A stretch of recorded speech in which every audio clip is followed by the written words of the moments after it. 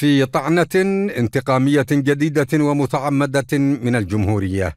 تخلصت ميليشيا الإرهاب الإمامية الحوثية من مركز الدراسات والبحوث اليمني عبر خطوة التفافية فميليشيا الإرهاب زعمت أنها دمجت مركز الدراسات مع مركز التطوير التربوي وذلك زعم لم ولن ينطلي على من يفهمون الحقد الحوثي.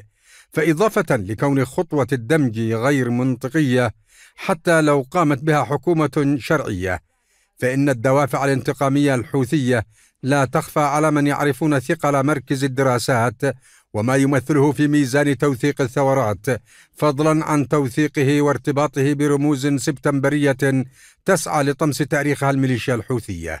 إلغاء المركز تحت خضيعة الدمج. دفعت مثقفين وسياسيين لرفع أصواتهم الغاضبة من خطيئات الشيطان وخطواته التي تلتهم كل شيء خطوة بعد أخرى وخطيئة تلو خطيئة. متسائلين عن جدوى رصد الجرائم الحوثية إن لم يؤدي الرصد لوقوف بالمرصاد من قبل كل المكونات اليمنية.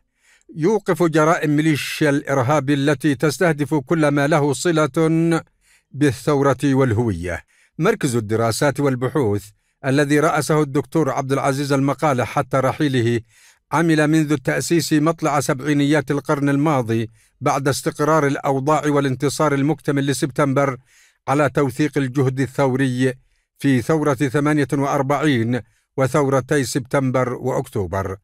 واحتضن فعاليات لمن بقي من الثوار ليتحدثوا عن الثورة للأجيال ووثق الجرائم الآثمة في الحقبة الإمامية المظلمة.